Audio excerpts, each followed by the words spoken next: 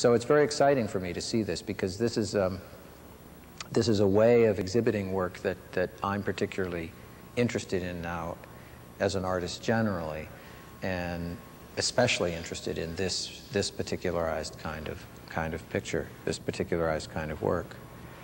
Um, one thing that's, that's important, I think, to point out for people who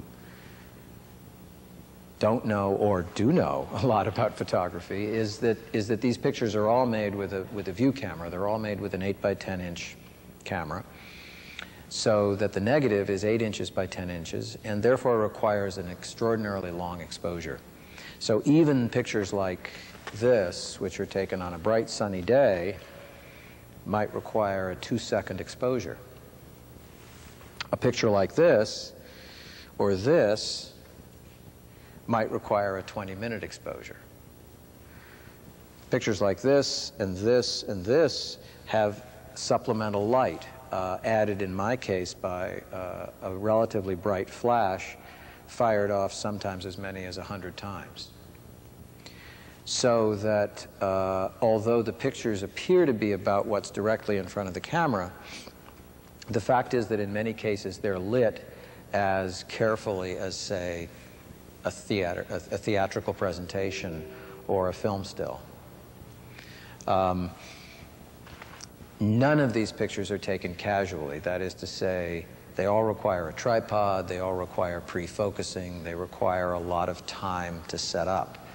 Uh, as anybody who's familiar with North Dakota knows, every single one of the pictures outside is taken in the wind.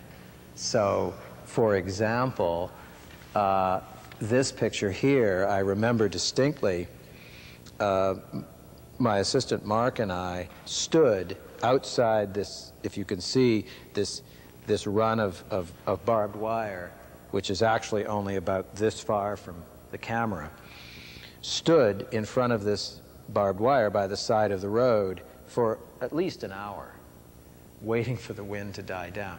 Stupid Easterners. Back in Boston, occasionally the wind stops. Of course, out in the middle of the prairie, it might not stop for three days. But we sat there waiting like a pair of fools. And I remember finally we looked at each other and said, let's just do it and see what happens. And so actually, this is about a two second exposure in the wind. And even though it's not razor, razor, razor sharp, it's perfectly, it's perfectly usable.